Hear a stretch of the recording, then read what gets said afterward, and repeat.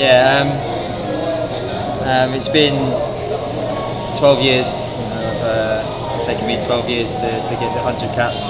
Um, I mean, the first the first few years, uh, we were lucky to, if we had uh, one tournament. You know, we were lucky if we had four, four or five games. So um, it started off a bit slow, but um, as I've gone further in my career, as the, the teams become more popular, as um, the teams become better in quality. Know, there's been more games we've played uh, during most uh, friendly, friendly international breaks. Um, uh, so, so it's, it's been up and down. You know, we've had some good times, we've had some bad times. Um, obviously, I'll always remember the, my, de uh, my debut in the, the Suzuki Cup qualifiers here in Bacolod in 2006.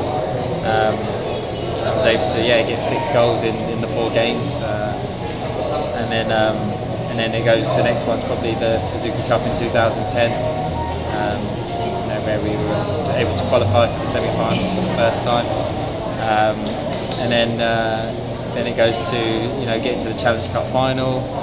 Um, you know, there's been there's been a lot of you know, good games, and I've enjoyed the experience. But I think most of all, I've, I've enjoyed being part of the group uh, being part of the team. You know, there's some been amazing characters in this team, uh, from the staff to the players. Um, so, um, if anything, you know, I take most from this is, is, is being part of uh, being part of the team, being part of this uh, Azkals family.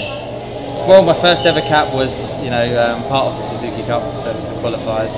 Um, and obviously, this tournament means a lot to Filipino fans, um, Filipino football fans.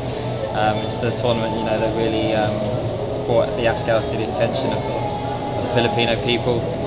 Um, so it's amazing for me. You know, I've got a good connection with, with the Suzuki Cup, and I've also got a good connection with, um, you know, with, with, having having played a lot of times in Singapore in the Singapore Cup, having played Singapore quite a few times. You know, I think this is a, a fitting game, you know, to, to mark my hundredth. Um, so I'm excited, and hopefully um, we can cap it off with a win.